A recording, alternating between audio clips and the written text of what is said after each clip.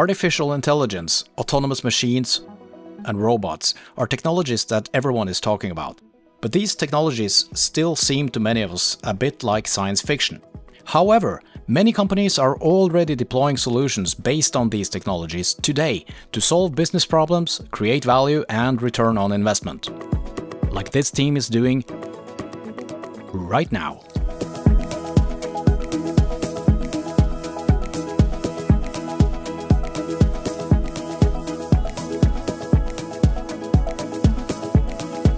Er her i eh, Mo i Rana, eh, i Rana sin eh, Dark Rana Gruber's goal is to be a world-class sustainable mineral producer, and currently it has one of the industry's lowest carbon footprints. Their ambition is to rid their production of all CO2 emissions by 2025. That requires new technologies and new processes.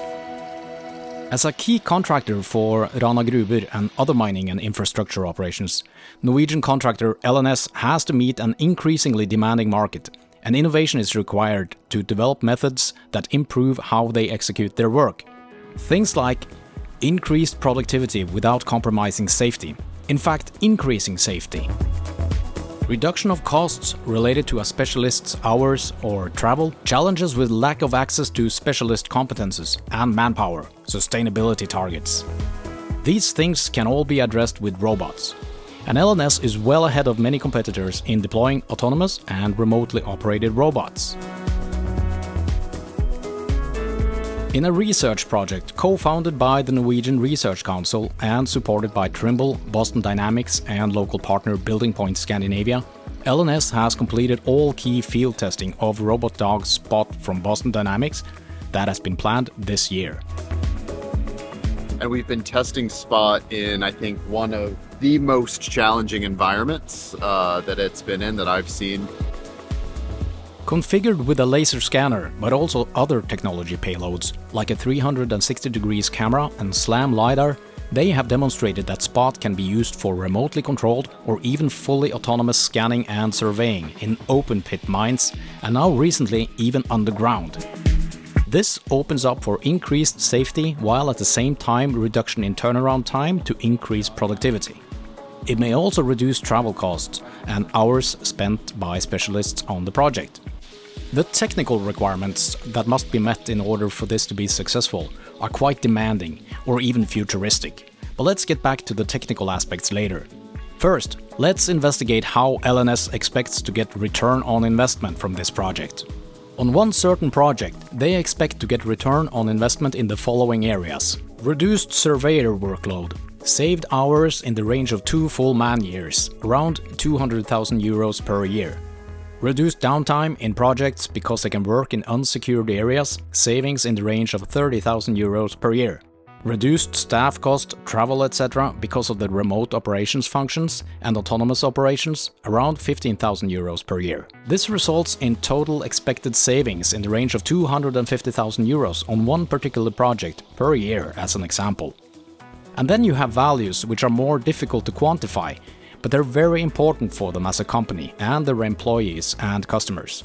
Innovation creates opportunities for new processes, new revenue streams. This can have a direct impact on the bottom line or even make them more attractive as a business partner and contractor. The increased efficiency and reduction in travel also has a significant impact on their operations in terms of sustainability. And finally, and probably most importantly, increased safety. This week we really really got to test out a lot of good good things here at, at Mo i Rana. Spot has been through field testing for LNS in two main configurations. First, the open pit mine solution that was field tested in Tana in February of 2023 takes advantage of GNSS to position the robot. We can't rely on manual mapping with the robot before we go, go out on missions here. So we've once again tested the GNSS functionality for outdoor navigation with Spot in the open pit mines like the one that you see behind me. Using a local internet connection in the mine and remote operation software, the robot can be controlled from anywhere in the world or even operate autonomously with pre-planned missions. This allows for the site manager to carry out scanning missions without the need for a specialist on site. But we've also introduced the additional challenge of underground tunnels beneath the mountains here. The field test in Mo i Rana and Rana Gruber focused on underground surveying. Underground spot cannot rely on satellite positioning, and other methods are needed. One such method that was put to the test in Rana Gruber was SLAM LiDAR technology. Exploratory mapping, so allowing the robot to explore unmapped areas of the tunnels, return a low resolution 3D map, and then do subsequent planning for higher resolution scans using the Trimble X7 solution with the Spot robot. The way the SLAM LiDAR solution could work is this. Spot is assigned an exploration volume, which is a rough outline of the area to be scanned, and then autonomously it maps out the area with the LiDAR. This provides a medium accuracy scan of the tunnels in a very short time, the time it takes to walk the length of the areas to be scanned, since the LiDAR scanning can be carried out while moving. These scans can then form a rough map or blueprint for spot for subsequent laser scanning at much higher accuracy, which is required in many cases. The field tests demonstrated that this solution is viable, but it also helped identify risks that the team will have to deal with. Vi har hatt en fantastisk uke her i Mo for å teste spot. Utmaningen vi har vidare nu är att vi har testat många olika funktioner för att lösa separata ting. Och nu måste vi försöka koncentrera oss och bygga ihop detta i processer.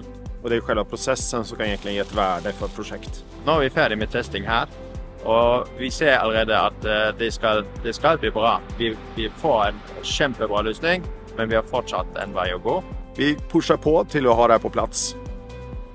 Using these two configuration of Spot, LNS will have a way to carry out accurate scans with the laser scanner in areas where one could not do this before for safety reasons. Neither the open pit mine nor the underground mine solutions required the specialist to be on site to carry out the job. This empowers the local operations management and offers increased productivity and a return on investment for LNS.